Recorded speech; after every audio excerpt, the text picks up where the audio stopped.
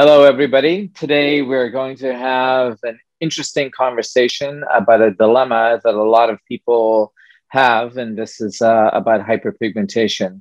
Having worked with the brand Nelly De Vuyst for over two decades now, and with the company Derme, I must tell you that how part of the challenge that we always have is really what objective are you trying to get for that uh, client or patient that actually has this condition.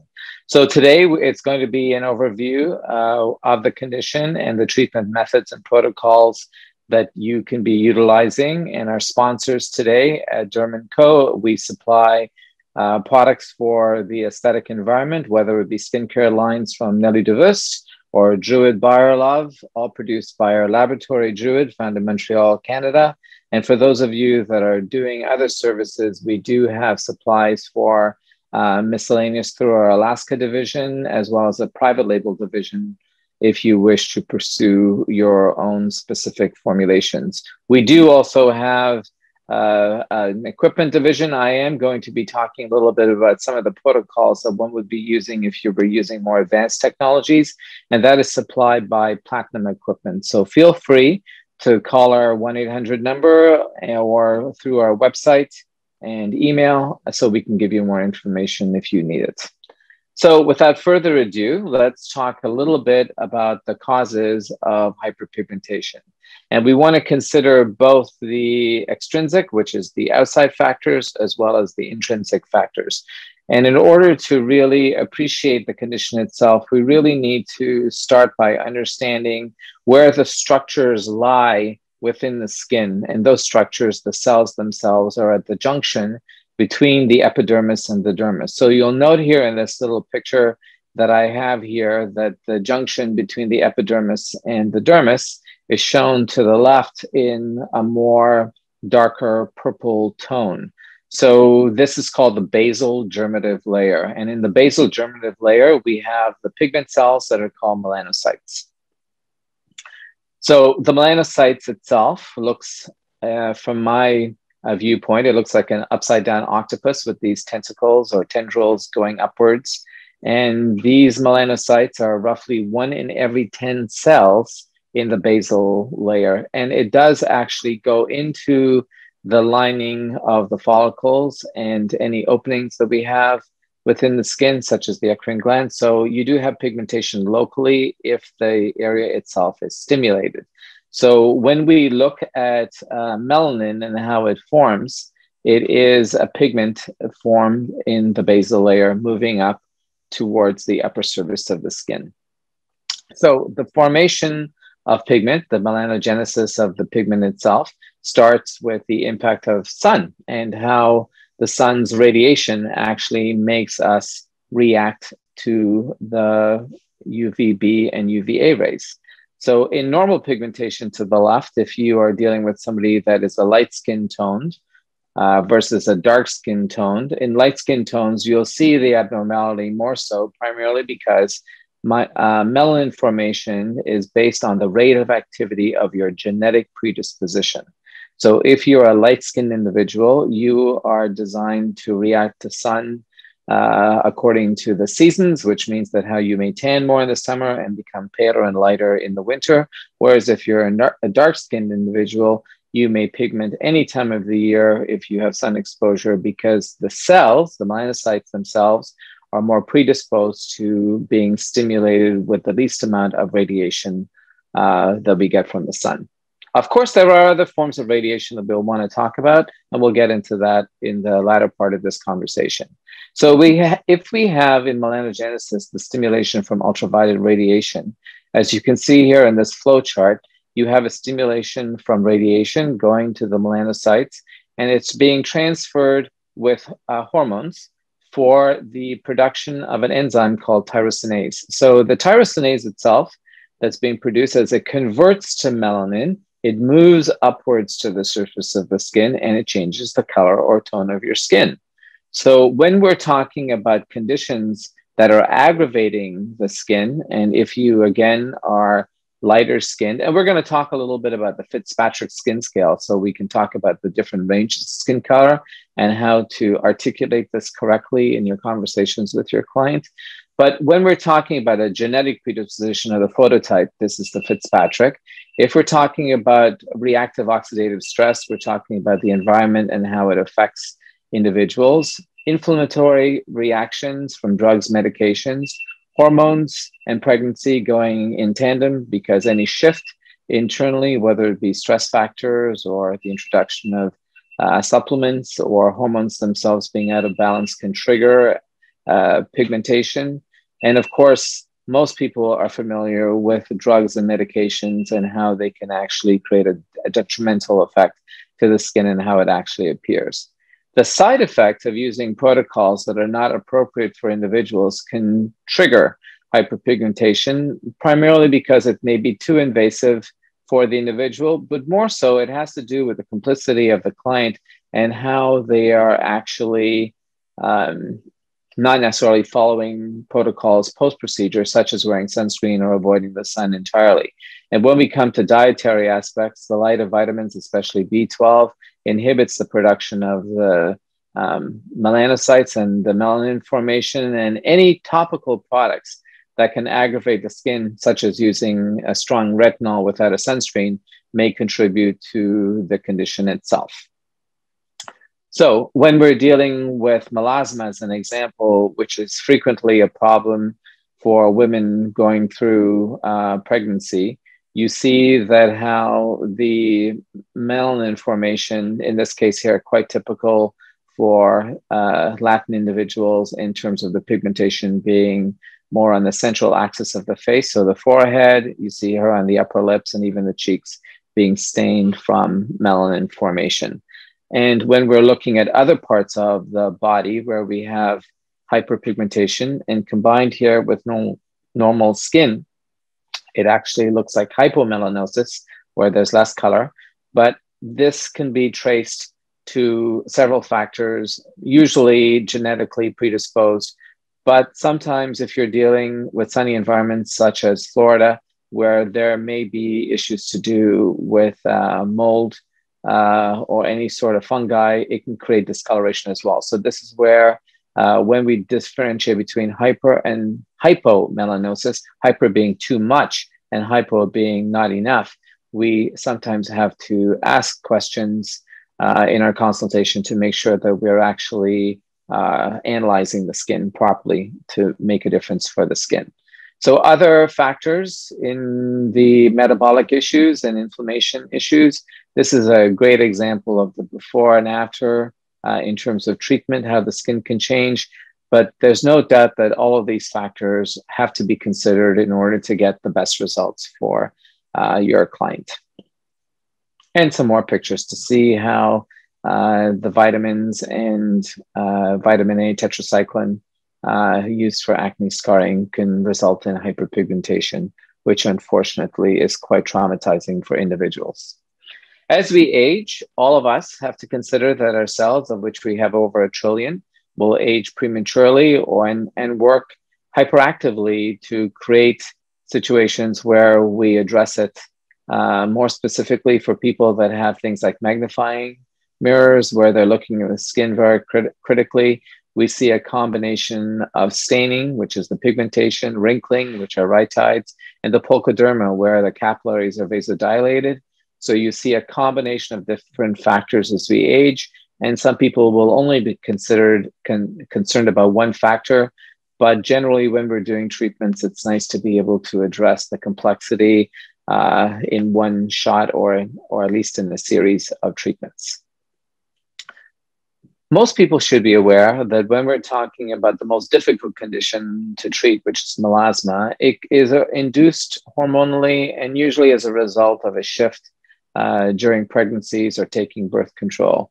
Nevertheless, regardless, regardless of how the condition actually arises, it's really wise to try to determine when the condition started to develop because the longer it's been there, the longer the cells themselves have been at a weakened state.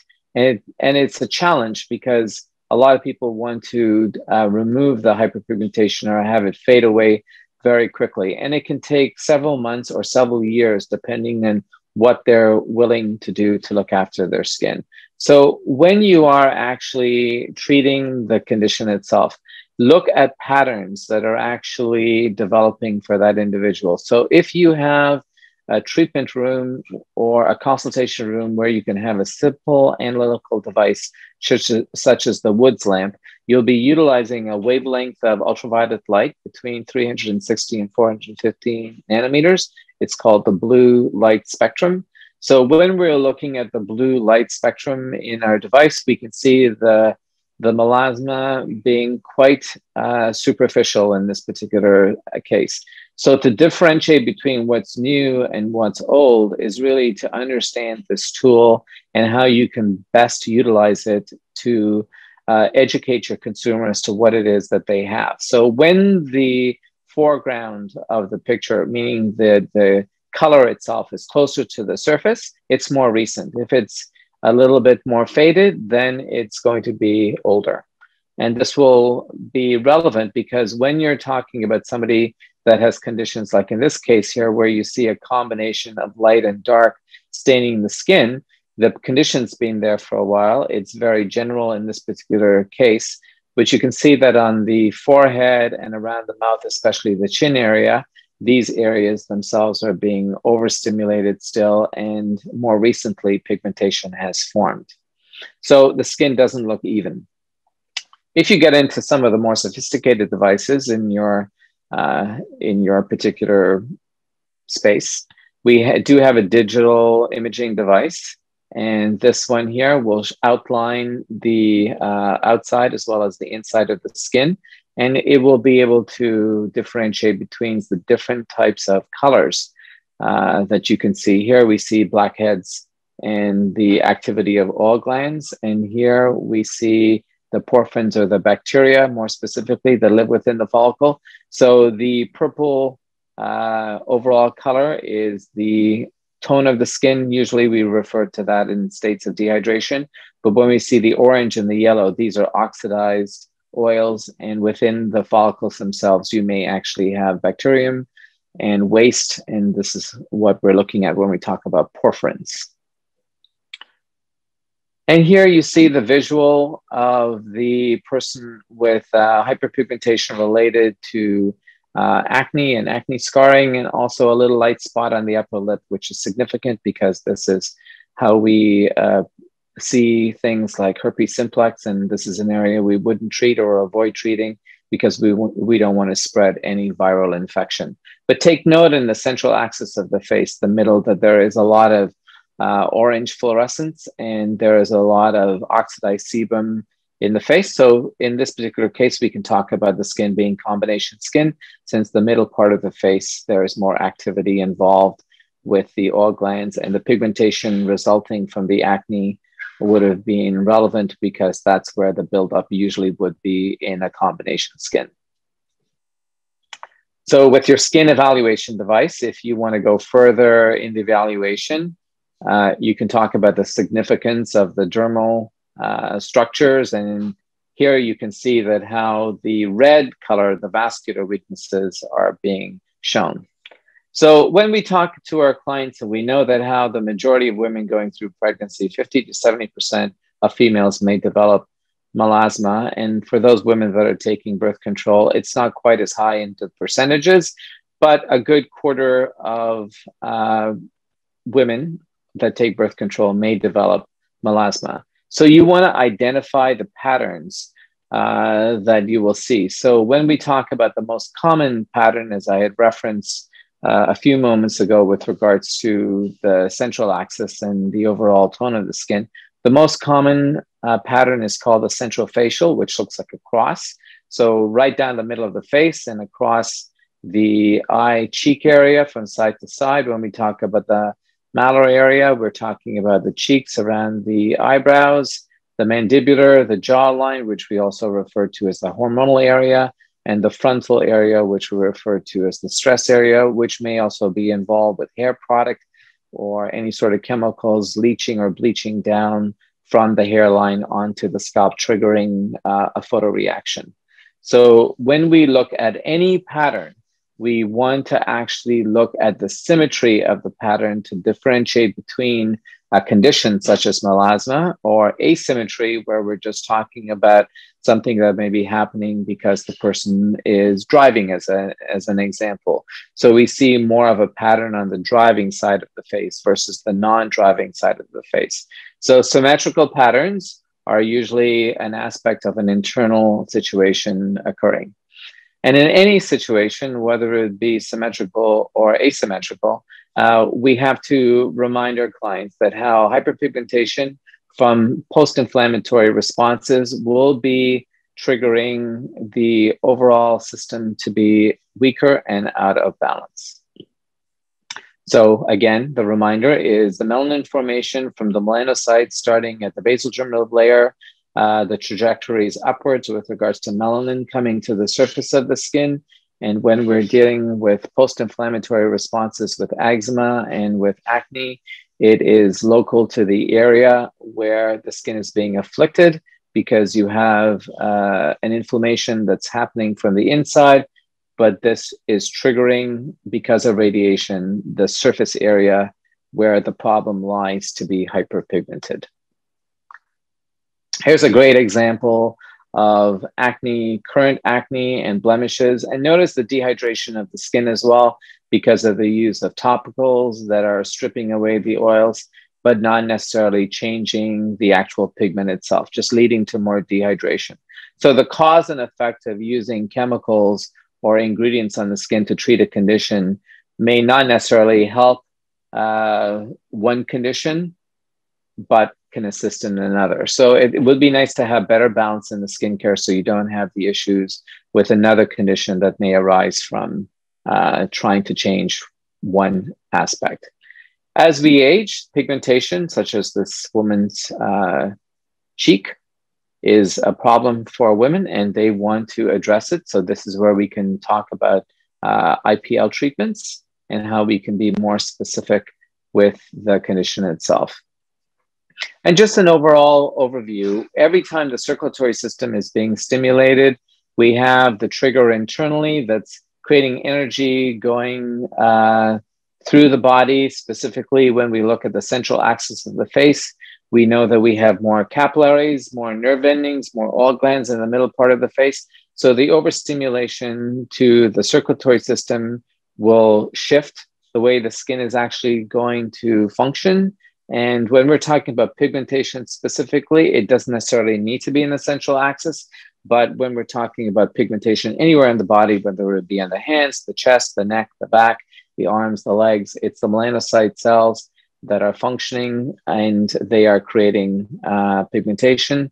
But when we're talking about overstimulation to the body due to other disorders or other stresses, the result is obvious with regards to the staining of the skin. Sometimes it's a challenge because when we deal with age spots, it is the accumulation of pigment over time. And for some people, it they will say, "Oh, it just appeared today." I never saw it before. Well, in fact, the cell has been weakening and aging over time, and it just gets to the point where it goes over the threshold in terms of being more visible to that individual. But if we're using or analyzing devices uh, more um, specifically, we can see these conditions uh, evolving. So, people that are using perfumes or chemicals like hydroquinone can have stains on their skin. These two are challenges to remove, sometimes irreversible, such as ochronosis, which is a blackening of the skin caused by the use of hydroquinone.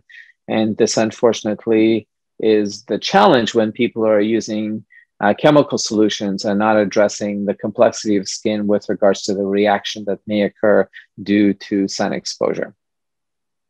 Also, in your consultation, please uh, take note of any irregularities that may occur. So we do suggest that you take uh, an effort with regards to not only analyzing your client, but documenting what you see.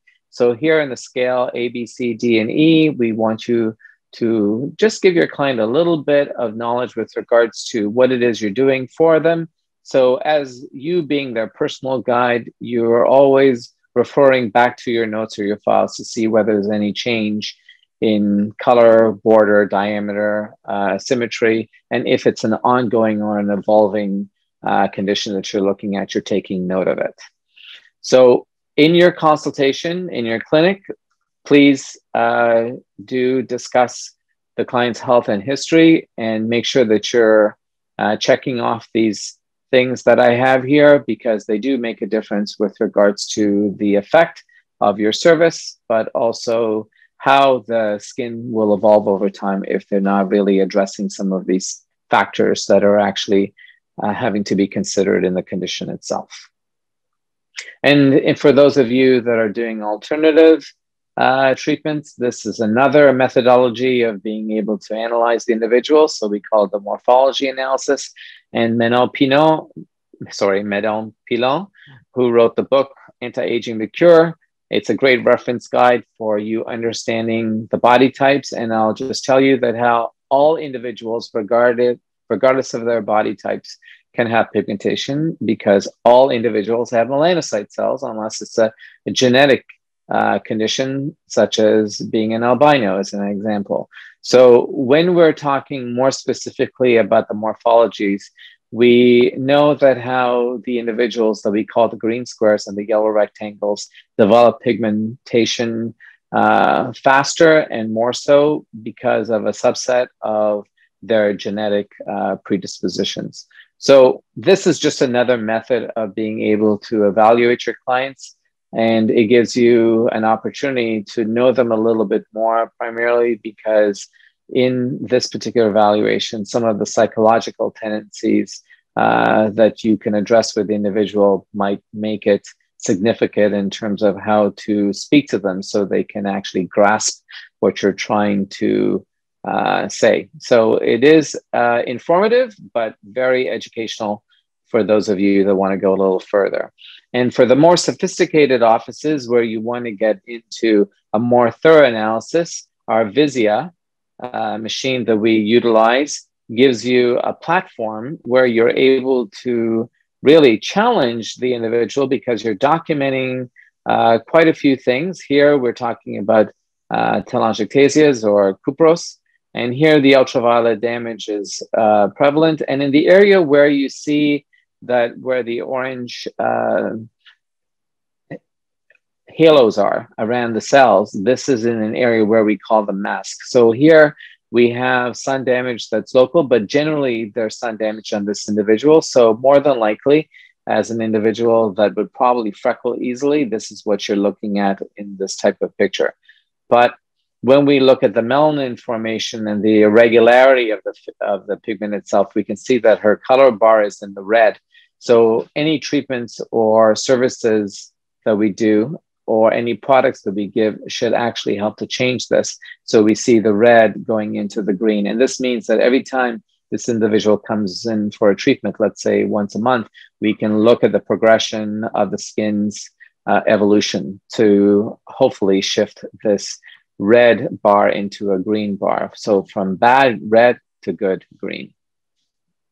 Pores here, uh, for those people concerned about texture and pores and bacteria living within the skin as well. So, all significant because everybody has a specific concern. And when we look at an overview, we can uh, have them take a picture with their cell phones. Most people have a smartphone now, and they can keep a record for themselves. But the goal of whatever we do is to actually change the skin. So, in your product recommendation, because the most important thing is to uh, convey to the individual that how they have to uh, have better discipline with regards to the products they use to look after their skin. We highly recommend using a chart so that whatever you do recommend for your client is easy to understand and the steps are easy to follow if you're looking at step one, step two, step three, etc. But this is an opportunity for you to not only be very specific with what their needs may be for hyperpigmentation in this case, but they may be concerned about other things that we're not addressing because of the limited time span we have with the client. And this allows you to uh, give them an opportunity to see all the things you have available to treat them uh, whether it be for the face or for the body. And for your program with regards to pigmentation, you have a nice, simple one, two, three, four uh, program. So cleansing goes without saying to remove the buildup and to balance the pH of the skin, which can also be used to set makeup and exfoliating the skin, whether it be locally or generally, to accelerate the diminishing of epidermal pigmentation, versus number four, which is the treatment formula to address uh, intrinsic factors, with more specifically a formula to help to address how the tyrosinase activity can be actually slowed down and potentially diminished so you have a more even complexion. Take note that step number four, Radiance Cream, is a very light formula. It's great for all skin types, whether they be oily, dry, sensitive, dehydrated, mature, and it can be used as a serum cream, meaning it can be used first before you put on something else, uh, whether it be a heavier moisturizer or a sunscreen. But for hyperpigmentation, the Radiance Cream should be used morning and night to address pigmentation that is being developed from all forms of radiation, not just the sun. Keep in mind that we have to deal with radiation from our cell phones, our flat screen TVs, our microwaves, our overhead wires if we live in a, in a community where there is wires present above ground. So all of these factors with regards to radiation can have an effect in the formation of melanin. And if you're following protocol uh, in your treatment room, the oxalic acid that we've produced, which is in the serum called oxypeel serum, the uh, protocol is very straightforward. So to implement it in the facial, it's uh, pretty straightforward. Step 12, which is what's highlighted here, is the application of the serum after you've gone through your entire service and you're spot treating the area where product has been removed so that you have the efficacy of the formula. And because it is a small bottle, uh, you want to make sure that you're using it up, meaning for all your clients, not on one client. And uh, the reason for that is really just the shelf life of the active ingredients. You don't want something going bad. So these are very affordable and inexpensive to incorporate into your facility. And uh, the side effect of this is there's a little tingling and burning, but it does lift uh, to become almost like a scab if uh, it's applied onto thinner skin, especially. But keep track of the evolution of the pigment itself. This is where your evaluation devices can come in handy and make sure your client is using their sunscreen uh, properly. So, in order for the pigment to, to uh, diminish, uh, you can do the oxypeel treatment more frequently, once a week, sometimes in a series to uh, address the condition over a short period of time, but this is before and after 28 to 56 days. So two skin cycles, you can see a diminishing of the pigmentation just from using the oxalic acid. So the three minute gommage, very important for home care because you're helping to lift the epidermal pigmentation, used locally or generally.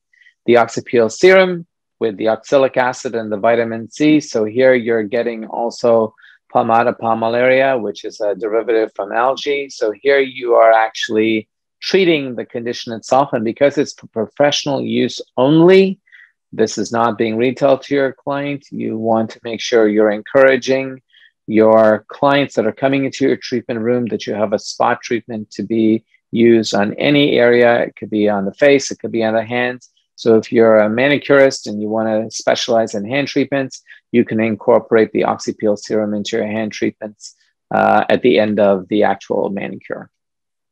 Making sure to remove all of the residue of your previous products. The Radiance Cream, as I uh, mentioned a moment ago, with its active ingredients, uh, primarily what you're dealing with something that's very lightweight that can be used locally or generally uh, to change the melanocyte activity. So, in order to change the skin, it is very important that sunscreen actually be used. This is the first certified organic SPF 30 in the world, certified by EcoCert and Cosmos Organic. And we're proud to have recently received uh, a prize for this particular formulation. It smells very light. Uh, it does have a little bit of an almond scent, but it doesn't have any almond components that can trigger uh, an allergic reaction. And because of the combination of the zinc and titanium dioxide, you have a physical sunblock that will be lasting for hours. The key here with using this sunscreen is to make sure that how it is spread evenly and that it is not wiped off with a towel if you should be going into water like a beach or a pool. If that's the case, then you need to reapply the sunscreen, but blotting the sunscreen will keep the physical block on the skin. It's safe enough, enough for a child. And the slight tint in the formula is just to mask a little bit of the zinc, but this is translucent. So it'll blend into all skin colors, all skin types quite easily. And for those people that want a mattifying effect to their skin, the sunscreen will provide that because you have the wicking of sebum from the minerals that are found in the formula. It does have anti-aging benefits. Uh, so it could be a product that is retailed in terms of multiple variables. So here you have an SPF 30 that's giving you protection. You have an organic formula that's also vegan uh, for those of you that are interested in uh, attracting that type of client, or perhaps you yourself are a vegan. But you have also an option now for people that are concerned about the aging of the skin and the potential side effects of aging in the sun, such as skin cancers or preventing them, and also for preventing burns as well. And a nice large size, three ounces to last you an entire season. If you're going into the sun regularly, you should use it daily. So the method of the treatments that you can consider when you're treating the pigmentation, there's some good things to this. Some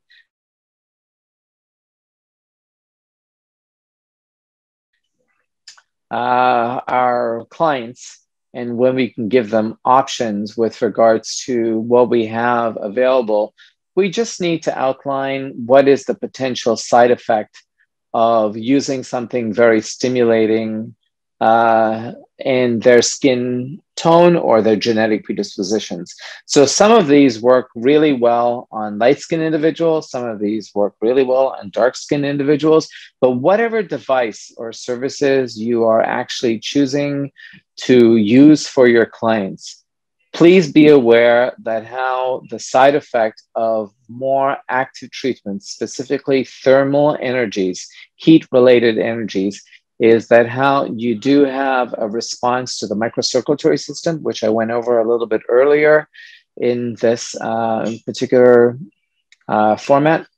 And the side effect of treating an individual, creating this type of stimulation, is that they need downtime or they need to be aware that they should have limited exposure to the environment because it can make the uh, problem worse right? So the key here is whenever you're practicing with a device, make sure you know what the protocols are and the before and after. So we pride ourselves with whatever machine that we sell our clients. Uh, that they are not only well serviced with understanding the machine, but also using the tools properly so that they have the best results uh, for their clients. So, whenever we're using products that are to reach the basal germinative layer, we consider them a cosmeceutical, which is where the radiance cream comes in. So we want to be able to get into the skin and other ingredients that we will utilize or that have been utilized to change the skin. Uh, some of the most common ones are listed here, but there's no doubt that how topical vitamin C's is an example tend to be excellent in terms of formulations. The problem is the efficacy of the C is not always there. And we actually produce vitamin C's that are not only in a stable molecule, uh, it does not oxidize. You can use it locally or generally to change uh, epidermal hyperpigmentation. So the process of manufacturing and the ingredients that you're using should be active, clinically studied, and of course, since we're talking about plants and plant baselines, the synergy of active ingredients, where they originate, all of these, uh, without saying uh, a lot, basically, you need to know what you're using and why you're using and how it actually works. So, when we're looking at machines and how they change the skin, the IPL machine uh, will target specifically uh, chromophores or pigment in the skin. So in training, we differentiate between the different chromophores that an individual may have and the target based on their genetic predisposition and the amount of pigmentation can be highlighted in training. We'll talk about how you can actually pop the color a little bit more or even stack treatments together so you can actually uh, address that hyperpigmentation more specifically. But whenever we're doing anything that is more superficial, such as microdermabrasion or chemical peels, we're talking to the client and explaining why these treatments are great epidermally and they still need their home care to work dermally. So you need to uh, educate and blend the knowledge together so they understand what's working for one part of the skin and what you need to address that's actually going on on the inside of the skin. So in the pigmentation itself, the before and after, here you have a remarkable difference over a series of treatments, significant improvement. Obviously, there's still some pigment, but you know, over time, we can fade that even further. It just depends on what the person is really uh, wanting to do in changing their actual look. So here again, too, with the lentigines, we see that how the pigment has diminished considerably, leading to a more even skin tone.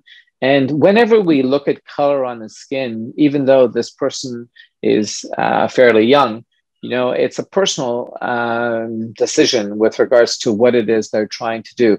But when we're talking about people that are looking to change pigment, whenever there's dark pigment in an area of the skin, let's say around the eyes, the dark will attract the light and the light areas reflect the light. So it can make certain things at a distance look uh, worse. Like you can look like you have scars or your dark circles around the eyes can look more pronounced or aggravated because the melanin is already absorbing light and the light areas that don't have the melanin reflecting it gives you a big difference between uh, what the individual is actually seeing or the people that are looking at them are perceiving.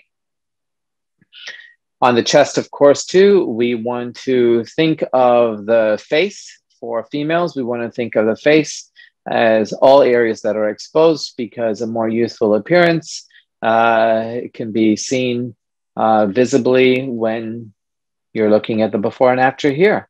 Very youthful looking. And on the arms, of course, we can use our devices to change the pigment as well.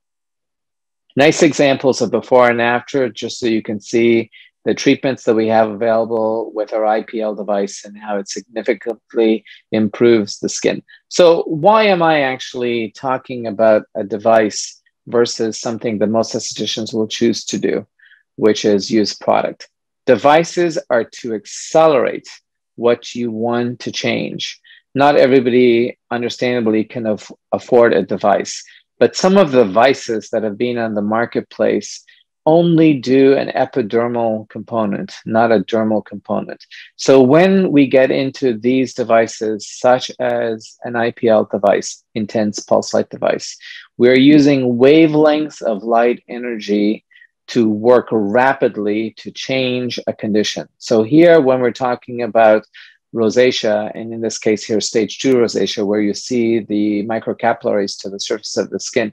This is significant difference before and after for that individual. This isn't to say that how the condition can't come back. Of course, it can because we still have the sun to deal with. We still have genetic predispositions to deal with. And this, quite frankly, is one of the easier conditions to address when we're talking about utilizing the IPL device.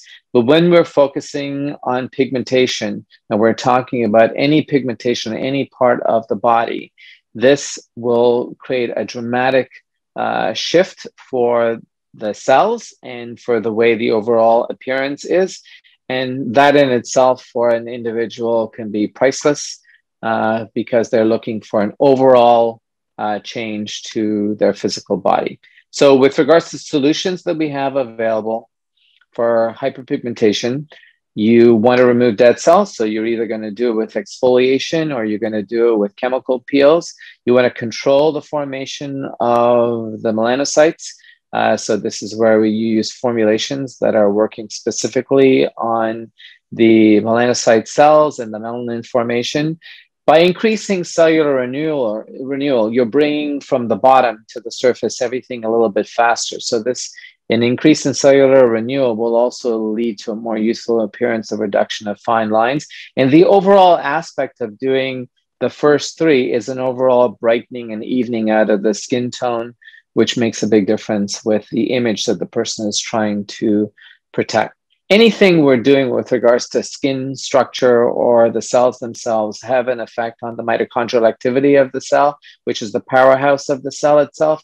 And this will give the cells an opportunity to be stronger and better balanced so they can do their job uh, more efficiently over time. And without protection, and uh, that is using a sunscreen, without protection, there is no prevention. So you need to make sure that you emphasize why it's important to reduce the impact of radiation and how it affects the skin. So if we're talking to our clients and what they should do, since they're asking for our advice frequently, we recommend the following always drink a lot of water to keep your skin well hydrated. If you have melasma or you're concerned about conditions that may be affecting your skin, hormonal conditions, please go to the right professional use your sunscreen, wear a hat. There is protective clothing with sunscreen. Important to manage your stress because it is the number one factor with regards to hormonal uh, imbalance, uh, since the brain itself, the nervous system itself, is the overall arc to everything we have going on in our body, affects all the other structures and systems. So manage your stress because it makes a big difference with the hormonal balance internally. Uh, use products if you're using foundations or makeup that contain a mineral component, because that is a physical component that helps to reflect uh, ultraviolet radiation. So most makeups have a, a, either titanium dioxide, and some may have zinc, but usually you'll have a mineral in your powders or sometimes in your foundations, and increase your vitamin intake of the B12 because it makes a big difference with regards to the balance of your skin. So when we're talking about the aging factors and mature skin, we all age. We know we know without a doubt that how things shift dramatically when uh, we get into certain years. But the consequences of not looking after your skin is really that not only is the skin not looking as good as it can, it is a protective barrier and it is a reflection of your overall health. And most importantly, because it is a protective barrier, uh, it does have an impact with regards to the resilience your skin may have to other factors that may exist in our environment uh, today and in the future. So, in, in, intrinsic factors, we always consider the genetics, the hormones, and pathologies that may be involved. So, we can see that how free radicals aging the skin, whether it be wrinkled, this is a side this is a side by side view of twin. It's a twin study. So one that didn't do anything and the other one that did. So you can see the difference with regards to the aging of the skin, but we can see even pigmentation. Either example is present because regardless of what you do or you don't do, your genetic predisposition to protect you from radiation is pretty set from the moment you're born. So if you are somebody that gets freckled or freckles, that is your body's natural defense mechanism telling you that I'm trying to protect you from radiation, but uh, you could do better because freckling is uh, just another indicator that you're being exposed to radiation.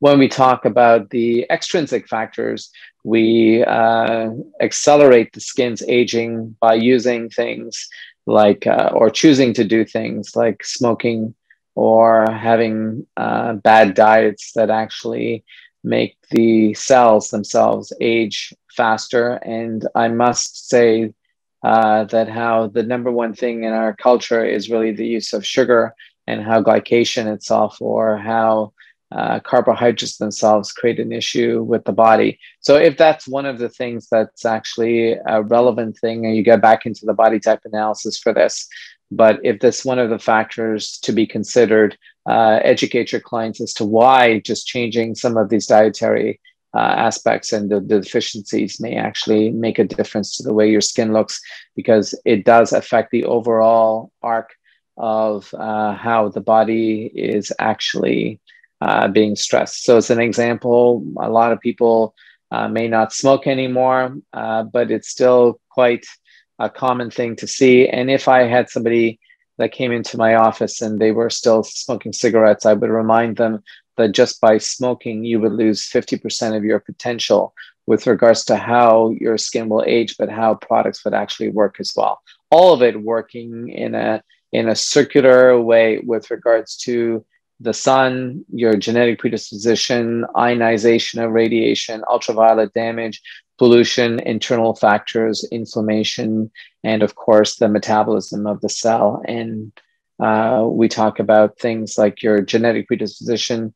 You're born with a set of chromosomes, but the flagella the end of the uh, chromosomes, the telomeres start to fragment and break down as we age. So all of this leads to a change or a shift in the body. Hormonally, we uh, do, and we talked about a mitochondria quite a few times, and we talked about stress quite a few, uh, a little bit. So, number one, sun. If you are going to be in the sun and choose to be in the sun, sometimes we choose to be, sometimes we don't. This is a good example of a gentleman that uh, drove for a living, and you can see how the damage on the driving side of the face is uh, very different than the non-driving side of the face. So the ultraviolet A is the big problem. Stress, which we've talked about, will lead to shift hormonally. Same with bad eating habits and the thinness of the skin. So whenever we provide you with products, a service, the components that we have available is meant to move the client for further along. That combined with tools or procedures, as I went over the OxyPeel serum and the IPL device that we have available. These are tools to help to move your clients faster to where they want to go. So if you choose uh, to use any tools within your facility, we do have the supplementary uh, products available. Uh, so for those of you that are focused already on our product line, the organic formulations in the BioTens line, the components besides the sunscreen that will affect the skin there, you have some excellent ingredients that will actually help to address dehydration, to stimulate the hyaluronic acid production within the skin. So when we are talking about components that we have within the line that are generally found in the bioscience, we do have these uh, side branches, the organic BioTens and the biomedical acne line, which has the first two medical grade certified organic chemical peels, where you have salicylic and alpha hydroxy acid uh, formulations that would also be effective for lifting pigmentation. So, if you're actually working on hyperpigmentation and acne, the side effect of using those sets of formulas is that you're overall shifting the overall tone of the skin as well as treating the acne vulgaris uh, as well. So thank you very much for uh, sharing your time with me today. If you have any questions, please feel free to contact uh, Derme and Co. You can reach out at our 1-800 number or visit our website, uh, dermandco.com. And also we have the Nelly De Vuyst uh, website available to you to view. Enjoy your day. Have a great day.